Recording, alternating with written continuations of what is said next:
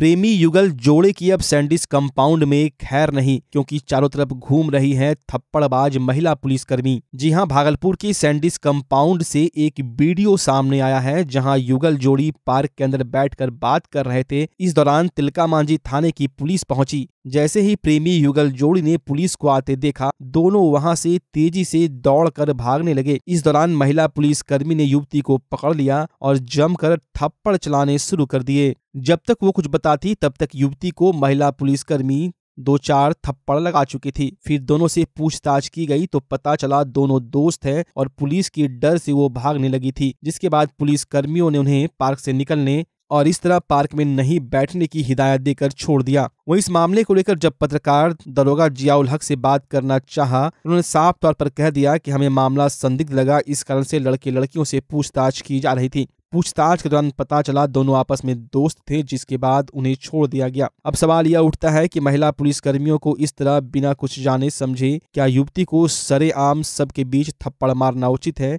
क्या इस पर कोई कानून लागू नहीं होता?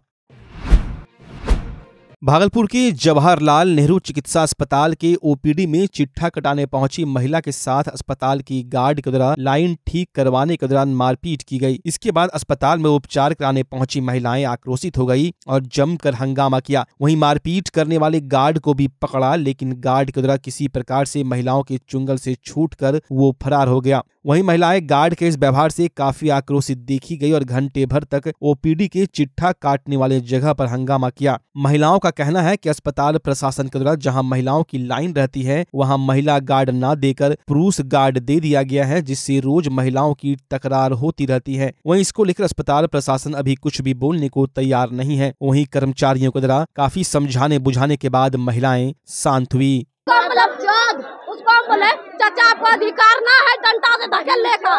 आप बोलिए चाचा साइड में रहेगा। तो बोला कि हटाओ अगर चोर। बस उनको चार पाँच डंडा से यहाँ दे दिया। मेरा गला का मेरा अब कार दाम नहीं चिंता चाचा नटा जैसा मेरे पास शक्ति था एगो। उसके बाद मेरे पास पैसा था पचास हज़ार। हाँ।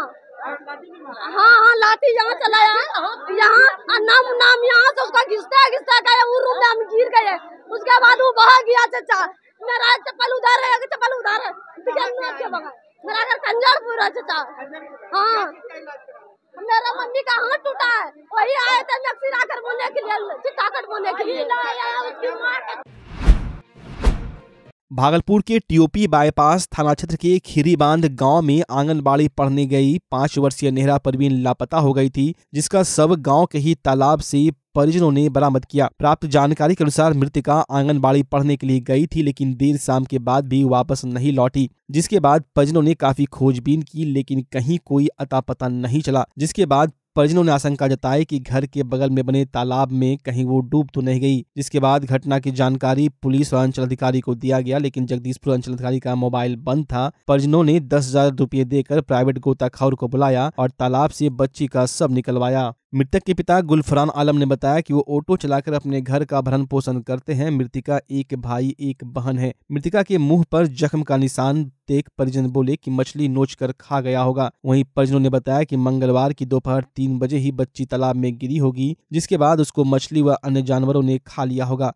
सुबह सबको निकाला गया, देखा गया कि मुँह पर जख्म के निशान है। इसके बाद परिजनों ने सबको बाहर निकालकर घटना की जानकारी पुलिस को दी। इधर घटना की जानकारी मिलने के बाद मौके पर पहुँची पुलिस ने मामले की छानबीन शुरू कर दी। मुआवजे की मांग को लेकर भागलपुर, जगदीशपुर मुख्य मार्ग को परिजनों व स्थानीय लोगों ने जाम कर दिया और मुआवजे की मांग को लेकर जमकर प्रदर्शन किया। मृतक के पिता का कहना है की अपने स्वार्थ के लिए लोगों ने मिट्टी निकाल तालाब बना लिया है। उस इलाके के सैकड़ों बच्चे खेलने के लिए जाते हैं। तालाब बनाया गया है। लेकिन उसकी घेराबंदी नहीं हुई है जिससे आए दिन वहाँ पर हादसा होता रहता है। इधर लोगों ने बताया कि साफ़ तौर पर लापरवाही है। मौके पर पहुँची पुलिस ने घंटों बाद परिजनों को समझा बुझाकर मामला शांत कराया। उधर रोड जाम होने के कारण पाँच किलोमीटर तक लंबी जाम लग गए जिसको छुड़ाने में पुलिस ने काफ़ी मशक्कत किया।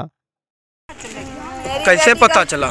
मैं हम खोजे के लिए शाम में गए ना तो किधरों जिसके जिसके खेले के लिए जाती थी सब कन खोजे। कोई कन नहीं मिली। कब से गायब थी बच्ची? कल तीन बजे से कल तीन बजे हम देखे खेले के लिए गई था हमरे ध्यान से उतर गया। घर में काम करे लगे। हम खेला खेल लिया मेरी बेटी किधरो। मेरी बेटी खेलती होगी किधरो। हम नहीं जाने कि मेरी बेटी पोखर में चली गई है। पोखर आप लोग को कैसे पता चला कि पोखर में? चला सब आदमी सब पुलिस पोखर में घुसा होगा। देखो पोखर में जाती तो उधर खेले के लिए। शायद बच्चा का जाता पानी लेने के लिए चली गई होगी। यही आदमी सब पुलिस था कल पता चलता तो कल ले कल पता चलता तो कल ले पोखर में खोजते। कल तो कितनी बड़ी थी? कितनी बड़ी थी? कितनी बड़ी साढ़े चार साल की थी। नाम क्या था? नाहेरा। वो बड़ी बेटी थी? ना मछली वाली बड़ी बेटी है छोटी है पिता नाम गुलफराज है बाप का नाम इरशाद है। वो ड्राइवर ऑटो ड्राइवर है। गरीब का बच्चा था। तीन साल का तीन साल का उसका छोटा लड़, छोटी लड़की। जो घर के बगल में एक पोखर है, पोखर में ही डूब के मर गई। जी। बच्चा जब जन्म लेता है तो कई बार बच्चा तुरंत नहीं रोता है, रोने में देर हो जाता है। ऐसे में बच्चा क्षतिग्रस्त हो जाता है और उसके बचने की संभावना कम हो जाती है और यदि बचा तो भविष्य में उसमें विकलांगता की समस्या आती है, जिसे सीपी कहते हैं, जिसका कोई माकूल इलाज नहीं है और ज़िंदगी भर बच्चा विकलांगता से जूझ सकता है। ऐसे में पूरे संसार में कूलिंग थेरेपी का सहारा लिया जाता है। जन्म से ठीक छः घंटा के अंदर यदि उसको कूलिंग थेरेपी दिया जाए तो उससे उसका सीपी की समस्या कम होती है और बचने की भी संभावना बढ़ती है। पहली बार बिहार झारखंड में आपके शहर के स्नेह नवजात शिशु बाल सेवा केंद्र में यह मशीन उपलब्ध है। कभी भी ऐसी बात हो कि बच्चा रोने में विलम्ब हो गया तो आप स्नेह नवजात शिशु बाल सेवा केंद्र में ज़रूर संपर्क करें।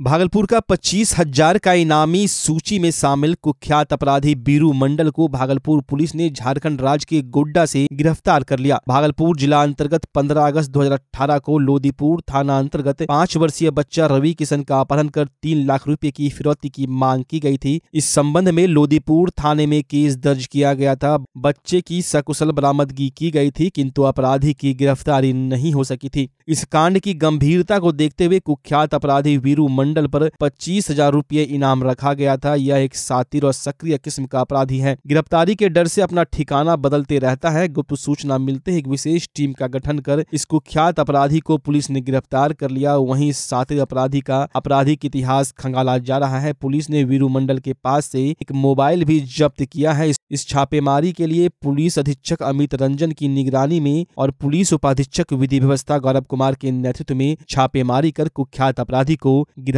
किया गया है।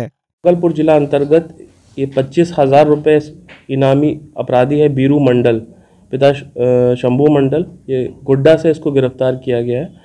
तो इसके ऊपर 2018 में एक केस हुआ था इसमें इसने एक बच्चे की पाँच साल का एक बच्चा था रवि किशन जिसको अ, मतलब अपहरण कर लिया था और उसके उसमें अ, ये फिरौती मांग फिरौती की मांग की जा रही थी तो बच्चे को रिकवर कर लिया गया था।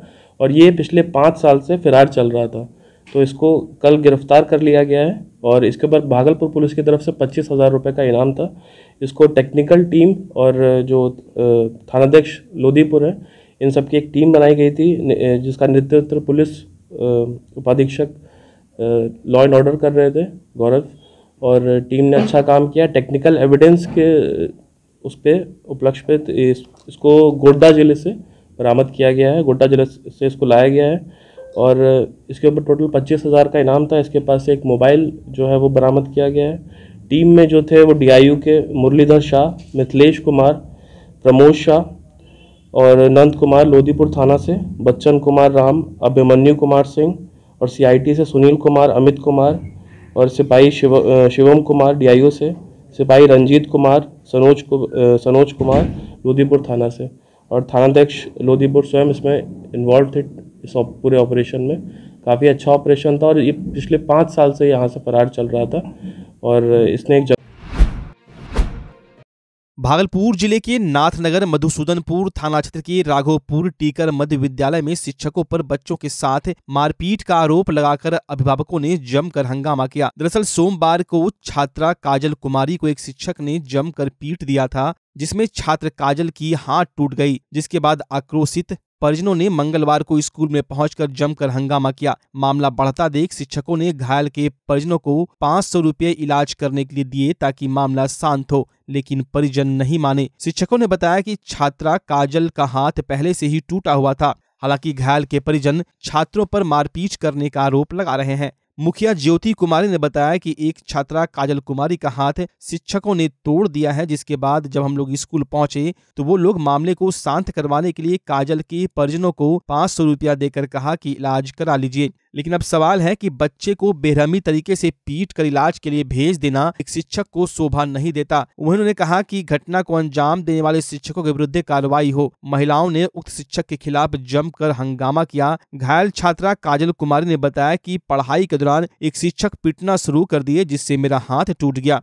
घटना को लेकर इस मामले पर प्रधानाचार्य कुछ भी बोलने से इनकार कर रहे हैं। पंचायत के मुखिया ज्योति कुमारी ने प्राचार्य पर मध्याह्न भोजन में उन्नीस बुरा चावल बेचने का भी आरोप लगाया है। उन्होंने कहा कि एक महीना पहले प्राचार्य के द्वारा मध्याह्न भोजन की उन्नीस बुरा चावल को बेच दिया गया। लोगों ने इसकी जानकारी मुखिया ज्योति कुमारी को दी थी। इसके बाद उन्होंने विभाग में लिख कर वरीय अधिकारी को घटना की जानकारी दी है। वहीं उन्होंने कार्रवाई की मांग की है।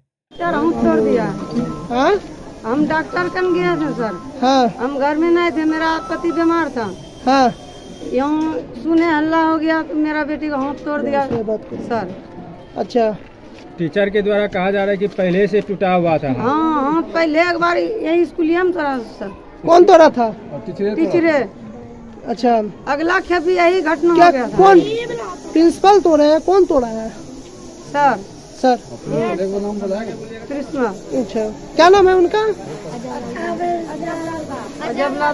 ठीक। तो इसमें क्या करना इलाज के लिए पैसा मिला आप लोग को? नहीं मिला है अभी। पाँच सौ रुपया दिया है। क्या इलाज हो जाएगी उसमें? नहीं नहीं होगा सर। अच्छा। पाँच सौ रुपया में की होगा फिर से होगा उतना अच्छा। क्या नाम है बच्ची का? काजल कुमारी। कौन क्लास में पढ़ती है? में। हाँ? सतमा में। सेवन्थ में पढ़ती है। हाँ सेवन में। उसका बच्चा का हाथ टूटा है और बच्ची आई थी उसके माता पिता कि देखिए मास्टर साहब के द्वारा हेडमास्टर साहब के द्वारा मेरी बच्ची को गिरा के मारने के क्रम में मेरा बच्ची का हाथ टूट गया है। तो चूँकि कल मैं ब्लॉक में थी तो नहीं आ सकी यहाँ ज़रूरी काम था तो हमने सोचा कि आज आते हैं। तो हमने प्रखंड से भी अधिकारी को सूचना दिया उनके गौरव जी आए हुए हैं और हमने अपने स्तर से आकर के ग्रामीणों का समस्या सुना। तो ग्रामीणों का जो भी कहना है कि जब से ये हेडमास्टर आए हैं, तब से बहुत ही गंदा व्यवहार स्कूल का हो गया है। पहला तो हम भी बहुत, हम पहले प्रमुख भी थे, बहुत पहले से इसको जानते हैं। अजलाल जिसको उसका नाटक करने का आदत है और सुनाई भी उनको नहीं देता है और कोई भी बात बोलिए तो वो पागलपन का बहाना करते हैं तो ऐसे भी पागल टीचर को स्कूल में रखने की ज़रूरत नहीं है। और नियम है कि पाँच साल के ऊपर से बच्ची जो है, लड़की, किसी भी काम चाहे प्राइवेट स्कूल हो या सरकारी स्कूल हो या कहीं हो, उसका माँ बाप, पिता भी नहीं छू सकता है, टच करके। ये कानून है। अगर पिता हो भाई हो कोई भी अगर उसको टच करके छूता है तो वो बैड टचिंग के नाम से ही उसे होगा। कोई भी बड़ी लड़की को पाँच साल के ओवर से किसी को नहीं छूना है लड़की को और जो भी अगर लड़की हो लड़का हो उसको शिक्षक को छड़ी से मारना चाहिए और अगर ज़्यादा बदमाशी कर रहा है वो बच्चा तो पेरेंट्स को आवेदन देना चाहिए नोटिस टीचर को कि ये बच्चा बहुत बदमाशी करता है स्कूल में। संबंधित वार्ड मेंबर को मुखिया जी को अवगत कराना चाहिए ग्रामीण को कि ये बच्चा ज़्यादा परेशान करता है। लेकिन इस तरह से नहीं मानना चाहिए। और आने का मेरा मतलब हुआ स्कूल में कि अगर हो सकता है एक बच्चा गलती किया तो मास्टर मारता है और ब... प्रिंसिपल थे? प्रिंसिपल थे। तो प्रिंसिपल का क्या करना क्या क्या होगा प्रिंसिपल से? उनका हम लोग दिए हैं बदली करने का यहाँ से चूँकि रोज माहौल खराब होगा तो बच्चा पढ़ नहीं सकेंगे। और ग्रामीण और अभिभावक और टीचर में जब लड़ाई होगा तो दूषित हो जाएगा माहौल इसीलिए इसको हम चाहते हैं अजब लाल है ना? अजब लाल जी। बच्चे का नाम क्या है? बच्चे का नाम? हाँ ये देखिए बच्चे भी है। यही हाँ यही बच्ची है। देखिए काजल है और काजल कुमार। आप ही को मारा गया है? हाँ। कौन कौन सर मारे थे? अतिया जब लाल दास ने। क्यों मारे थे? क्योंकि हमको संस्कृत पढ़ने के लिए ना आता था। संस्कृत पढ़ने नहीं आता? हाँ।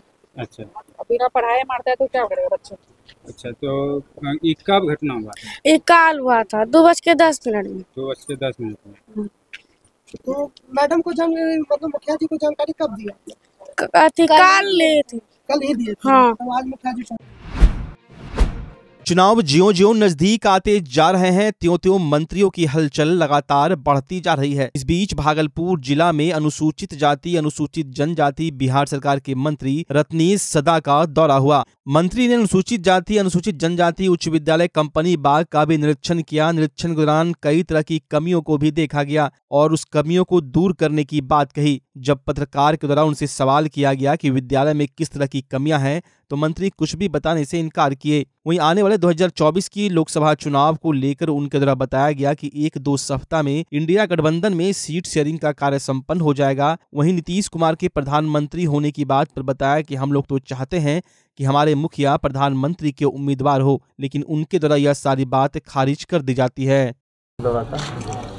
हम कल एकाएक यहाँ ढोलबज्जा। में संत का सम्मेलन था। और उसमें एकाएक संत योगेश जी हमको एकाएक उसको बेचैनी हो गया। जब तक मंत्री जी नहीं आएगा तब तक हमारा जग सफल नहीं होगा। तो हम एकाएक कल तीन बजे चले उसके जग में ढोल बजा के लिए और रात फिर ग्यारह बजे आपके भागलपुर आए। कोई खास बात नहीं था। वही संत समागम में हम आए अचानक हम किसी कार्यकर्ता के जिला अध्यक्ष को भी नहीं खबर किए लेकिन भाई शिशुपाल जी मीडिया प्रभारी है इनको एकाएक अपने आप पता लगा तो उसी दरमियान में इनसे भी मुलाकात आज हुई और अभी तक ये साथ है। जहाँ जहाँ जाएँगे ये साथ रहेंगे। 2024 चुनाव को लेकर क्या और स्कूल भी गए थे। स्कूल में निरीक्षण किए हैं। जो कमी है उसमें सुधार लाएँगे हम। हम्म। किस तरह की त्रुटियाँ दिखी सर? हम जो देखे हैं उसको अपने आप में सुधार करवाएँगे छोड़िए। चुनाव की तैयारी के बारे में कि चुनाव की तैयारी महागठबंधन की एकता चल रही है और जब ये सीट शेयरिंग लगभग में एक हफ़्ते के अंदर या दो हफ़्ते के अंदर हो जानी चाहिए और सीट शेयरिंग होने के बाद 2024 में बीजेपी सत्ता से बेदखल हो जाएगी। आरएसएस चीफ आ रहे हैं सर भागलपुर क्या कहेंगे भागलपुर आ रहे हैं आरएसएस के चीफ आ रहे हैं मोहन भागवत। वो दलित ऐसी हितैषी थोड़बे है। वो अपना काम के लिए आता होगा। और न आरएसएस न बीजेपी एसी, एसटी, अति पिछड़ा पिछड़ा के लिए सोचा है। न कभी सोचेगा। बाबा साहब भीमराव अंबेडकर का लिखा हुआ संविधान को परिवर्तन करने के लिए आता है। स्टेट बार काउंसिल का चुनाव 25 पदों के लिए आज शांतिपूर्ण तरीके से सुबह के 10 बजे से प्रारंभ होकर शाम के 5 बजे संपन्न हुआ। इसके दावेदारों में पाँच अधिवक्ता भागलपुर ज़िले व डीबीए भागलपुर से भी थे। इस मतदान कार्य के लिए डीबीए भागलपुर के सदस्यों के मतदान के लिए चार बूथ बनाए गए थे। इन बूथों पर डीबीए भागलपुर के 1923 सदस्य मतदाता कर्मियों ने अपनी कीमती मतदान किया। यह मतदान पटना के बार एसोसिएशन के पदाधिकारी की देखरेख में संपन्न किया गया। हालाँकि यहाँ होने वाली वोटिंग के लिए डीबीए के प्रभारी अध्यक्ष मुक्ति प्रसाद सिंह को पीठासीन पदाधिकारी नियुक्त किया गया था। मतदान के समय सुरक्षा के भी पुख्ता इंतज़ाम किए गए थे। वहीं मतदान केंद्र पर बाहरी लोगों के प्रवेश पर भी रोक लगी हुई थी। चुनाव में बाधा उत्पन्न करने वालों पर कार्रवाई करने की भी बात कही गई थी। वहीं सभी मतदान केंद्रों पर निगरानी के लिए सीसीटीवी कैमरे भी लगे हुए थे। चुनाव की निगरानी और संचालन के लिए निर्वाचन कार्यालय पटना के सहायक पदाधिकारी अशोक कुमार सिन्हा सहित आठ सदस्यों की देखरेख में यह मतदान शांतिपूर्ण संपन्न हुआ। बार काउंसिल का, बिहार बार काउंसिल का मेंबर की चुनाव हो रही है। जिसमें एक कैंडिडेट हैं, वो सब मिल करके उसमें से 25 लोगों का सिलेक्शन होगा। 25 लोग चुने जाएँगे। उसी 25 में से जो लोग मेंबर बनेंगे, वो अपने बार काउंसिल के चेयरमैन उसी में से एक होंगे वाइस चेयरमैन होंगे। यही प्रोसेस है। अभी के समय में एक कैंडिडेट उस पद के लिए, बिहार बार काउंसिल के मेंबर पद के लिए चुनाव लड़ रहे हैं। आज गिनती हो जाएगा। आज गिनती नहीं होगी 27 से इसकी गिनती शुरू होगी। महर्षि संत सेवी परमहंस की 104वीं जयंती आज काफ़ी धूमधाम से मनाई गई। इस जयंती पर उनके अनुयायी काफ़ी हर्षोल्लास के साथ एक दूसरे के साथ खुशियाँ बांटे। जयंती समारोह पर आश्रम को फूलों, झालरों से सजाया गया था। देश विदेश से श्रद्धालुओं ने यहाँ आकर प्रवचन, भजन, कीर्तन में हिस्सा लिया। आश्रम में जयंती के मौके पर निशुल्क स्वास्थ्य शिविर भी लगाए गए थे। शिविर में बहुत सारे सत्संग प्रेमियों का चेकअप हुआ। साथ ही निःशुल्क जाँच करने के बाद दवाइयाँ भी वितरण किया गया। वहीं अखिल भारतीय संत मत सत्संग महासभा के महामंत्री दिव्य प्रकाश ने कहा कि इस जयंती समारोह में दिल्ली, कोलकाता, नेपाल, बनारस, पंजाब के अलावे देश विदेश से कई अनुयायी भागलपुर महर्षि आश्रम में कुप्पा घाट पहुँचे हैं। यह बड़ा ही सुखदायी पल है। वहीं सुबह पाँच बजे भजन कीर्तन के साथ कार्यक्रम की शुरुआत हुई। सुबह छह बजे स्तुति, विनती और ग्रंथ पाठ किया गया। इसके बाद आठ बजे पुष्पांजलि, सत्संग, प्रवचन का कार्यक्रम आरंभ हुआ। फिर सामूहिक भंडारा और सामूहिक भंडारे के बाद स्तुति, विनती के साथ कार्यक्रम की समाप्ति हुई। कार्यक्रम के दौरान महर्षि संत श्री परमहंस के जीवन उपदेश पर प्रकाश डाले गए। कार्यक्रम में हज़ारों अनुयायी शामिल हुए। कार्यक्रम को सफल बनाने में अखिल भारतीय संत मत सत्संग महासभा के पदाधिकारी और कार्यकर्ताओं ने काफ़ी मेहनत किया। कार्यक्रम के दौरान आश्रम में आचार्य साधु संत भी मौजूद थे। में हमारे जो संत सदगुरु महर्षि मही परमहंस जी महाराज थे, उनके पट्ट शिष्य, महर्षि संत सेवी परमहंस जी महाराज, की आज 104वीं जयंती है। और ये प्रतिवर्ष जो है, अखिल भारतीय संत सत्संग महासभा के द्वारा हर वर्ष मनाई जाती है, बड़े ही हर्ष और उल्लास के वातावरण में। और इसमें दूर दराज के क्षेत्रों से, सुदूर देहात से, बिहार से, बिहार के प्रदेश के बाहर के लोग जो श्रद्धालु हैं, वे लोग आते हैं। और आज यहाँ पर जो है सुबह में से आज उनका कार्य, कल जो है प्रभात फेरी किया गया, पर ये शोभा यात्रा निकाली गई थी, जो शहर के मुख्य मार्गों से घूमते हुए जो फिर आश्रम आई। और रात में भी भंडारा था और सुबह में जो है पुष्पांजलि की गई है, महर्षि जी के पूज्य आराध्य देव के और महर्षि संतसेवी परमहंस जी महाराज के तेल चित्र पर और अभी भंडारा का कार्यक्रम चल रहा है, जो अनवरत चलेगा रात तक और फिर जो है दो बजे से सत्संग प्रसाल में। स्तुति प्रार्थना के साथ उनके जीवन दर्शन पर, उनके व्यक्तित्व और कृतित्व पर। और संत मत में उनका जो है कितना अहम योगदान है, इस बात पर जो है हमारे पूज्य साधु सन्यासी और हमारे मुख्य अतिथि और महासभा के सभी सम्मानित पदाधिकारी इस पर जो है प्रकाश डालने का काम करेंगे। यही आज का मुख्य विषय है और यही कार्यक्रम है। कई स्टॉल भी लगे हैं, जैसे मेडिकल का स्टॉल है। एमसीसी क्लब भागलपुर के द्वारा एमसीसी क्लब के कार्यकर्ताओं के द्वारा स्थापना दिवस समारोह मनाया गया। क्लब के अध्यक्ष अशोक शर्मा ने बताया कि क्लब की स्थापना 20 दिसंबर को हुई थी, इसलिए हम लोग इस दिन को बहुत धूमधाम से मनाते हैं। इस दिन हम लोग किसी न किसी जगह श्रमदान कर स्थापना दिवस मनाते हैं। इसी कड़ी में आज अंबेडकर छात्रावास में जितने भी फर्नीचर है, उसकी रिपेयरिंग की गई और साथ ही साथ हम लोगों ने यह प्रण किया कि आज के दिन हम लोग यह स्थापना दिवस, श्रम दिवस के रूप में मनाएँगे। आज के कार्यक्रम में अवध कुमार, निरंजन कुमार, अजय कुमार सहित कई क्लब के कार्यकर्ता मौजूद थे। आज 20 दिसंबर है। 20 दिसंबर मेरे एफसीसी क्लब का स्थापना हुआ था। 20 दिसंबर को उसी के उपलक्ष्य में हम लोग श्रमदान दिवस का आयोजन करते हैं प्रतिवर्ष तो इस साल हम लोग डॉक्टर भीमराव अंबेडकर अनुसूचित जाति प्लस टू स्कूल में श्रमदान करने आए हुए हैं, जिसमें हमारे मुख्य कार्यकर्ता जो हैं, आलोक कुमार शर्मा जी, निरंजन शर्मा जी, अजय शर्मा जी, संजय शर्मा जी, अवध शर्मा जी, सभी ने अच्छा योगदान किया। राजेश शर्मा ने भी अच्छा योगदान किया और कंपनी मेंबर श्री अजीत शर्मा जी आए, जो हमारे भागलपुर के मार्केटिंग को देखते हैं, श्री राम कुमार जी आए, जो फेविकॉल को देखते हैं सभी ने आकर के उत्साहपूर्वक बड़ी शांति प्रिय ढंग से यहाँ पे श्रमदान किया।